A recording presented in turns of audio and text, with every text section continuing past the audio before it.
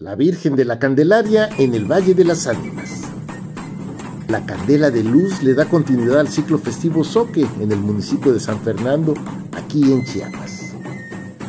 Las comunidades de este fértil valle celebran de manera muy especial su fiesta patronal durante los tres primeros días del mes de febrero. Sonoapan es el nombre que los indígenas le dieron al lugar y más tarde se declara pueblo al asentamiento de la hacienda Las Ánimas, llamada así por la particularidad de las caprichosas formas de la neblina. A mediados del siglo XIX, doña Soledad Bustamante, avecindada de Berrozábal, dona la imagen de la Virgen del Rosario, dando entrada también a las advocaciones marianas tan arraigadas en los pueblos soques. Es en estos años cuando inicia el registro de esta danza tan representativa de la depresión central de nuestro estado. Los pobladores narran de esta manera estos sucesos. Una Candelaria San Fernando es quien nos representa de manera simbólica lo que una vez la señora Ildefonso Jiménez inició. Entonces ella lo inicia este, porque llevan a presentar sus niños a la iglesia. Fue en el año 1834 cuando ella junto al señor este, Agapito, Agapito Pitero le llamaban, inician eh, danzando eh, con una ropa común y corriente, como la que usaban. Eh, la ropa soque, que sigue siendo la misma camisa de ahora, nada más que le hemos hecho algunos arreglos. Y esta representación se ejecuta de forma muy particular, describiendo los ciclos de la fertilidad agrícola, utilizando los elementos sincréticos traídos durante el tiempo de la colonia en México. Las Candelarias están organizadas en agrupaciones que describe muy bien la investigadora e coreográfica y maestra en danza Rita Cifuentes. La danza de la Candelaria la bailan niñas, jóvenes y adultas. Antes solo las adultas.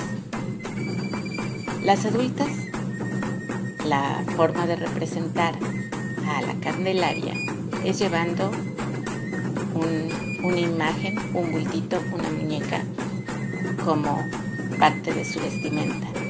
Las niñas, ahí está la continuidad de la danza.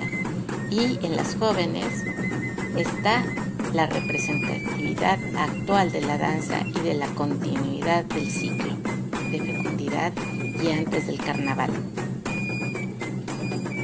Su vestimenta es una falda de bichí, una blusa de holán.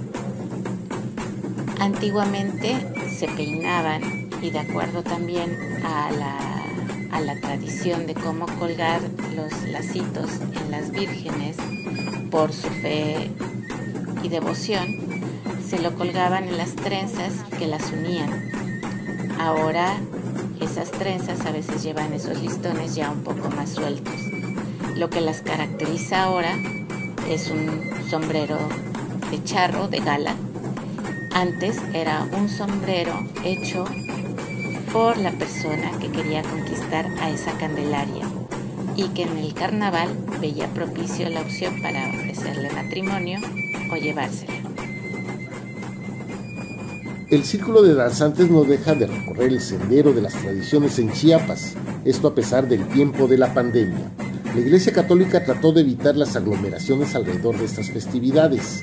En la cabecera municipal solo se realizó un servicio religioso para entregar a las nuevas punteras y las más jóvenes decidieron trasladarse a la colonia 16 de septiembre, donde se realizaron los recorridos tradicionales.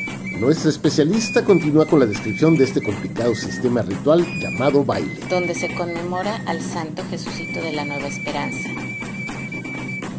Se reúnen por grupos que recorren las calles y las iglesias principales. En la plaza central se reúnen todos los grupos al mediodía. El orden es más o menos de acuerdo al siguiente criterio. 8 a.m. Casa de la Puntera. Los músicos se encuentran ya tocando distintas alabanzas cristianas y zapateados populares chiapanecos.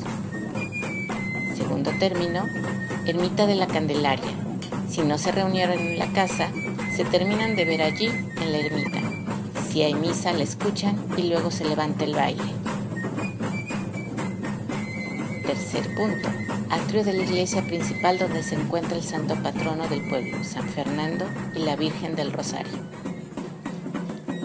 Después, casas de algunos mayordomos, poseedores de imágenes que celebran alguna festividad, y al concluir el tercer día se llega de nuevo a la casa de la puntera, donde se, celebra la fiesta popular.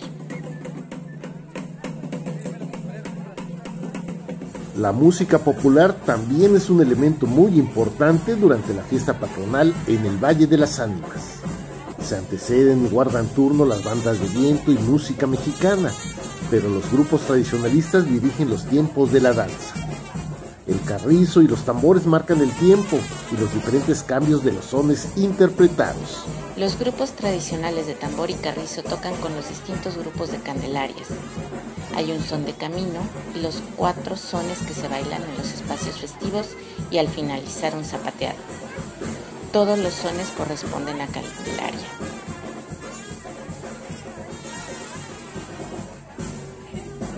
Así ha transcurrido un año más en este bello paraje de la provincia de México. San Fernando ha celebrado esta semana las fiestas de la Virgen de la Candelaria. Las bellas mujeres guardan la mirada bajo la sombra del sombrero mexicano. Su belleza adornada de listones milagrosos tiene el poder de convocarnos para visitar una vez más esta comunidad. Su arquitectura vernácula y su fiesta peculiar nos abren la puerta para reconocer nuestra herencia y junto a ella la esperanza de sobrevivir al tiempo que nos ha tocado vivir. San Fernando, el Valle de las Ánimas. Noticias, voz e imagen de Chiapas.